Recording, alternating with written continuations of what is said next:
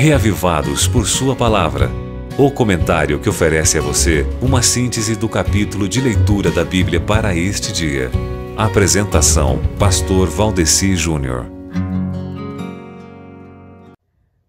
Se você estiver se sentindo isolado ou só, o poema que Davi escreveu quando ele estava sozinho no deserto de Judá pode viajar no tempo e chegar fazendo sentido para você.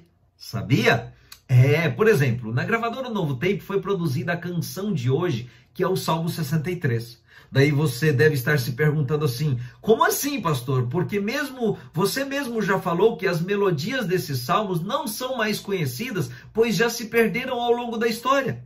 Isso é verdade. A melodia original, ninguém mais sabe como é que é ou como era. Mas como música é uma questão de gosto, cultura e legenda, nos, não nos interessa mais saber como era a estrutura musical daquela cultura, nem seus gostos ou legenda. E é exatamente por isso que Deus permitiu que ficasse só a letra e a melodia se perdesse, porque o importante de um hino são a letra e o espírito de adoração. O resto é só uma estética que visa produzir em nós o prazer. E foi exatamente isso que eu senti o prazer ao ouvir a música Só em Ti, cantada pelo Ministério de Louvor, está escrito, que é praticamente o Salmo 63. Quer ver só? Escute um resumo do Salmo 63.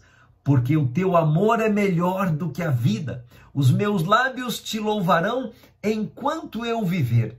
Em teu nome levantarei as minhas mãos, a minha alma se fartará só em ti. Só em ti a minha alma se fartará só em ti, só em ti, meu Jesus, só em ti a minha alma se fartará, só em ti, meu Jesus. É a música. Ricardo Martins foi muito feliz em praticamente não escrever a letra da música, mas sim em musicar a letra do Salmo 63 numa melodia contemporânea, gospel, atual, que toca o coração da gente de acordo com a realidade que a gente vive hoje. E essa é a grande lição que devemos tirar da nossa leitura bíblica, aproveitá-la para o nosso contexto, para a nossa realidade atual. Pensando nisso, leia e cante hoje o Salmo 63 e fique com Deus.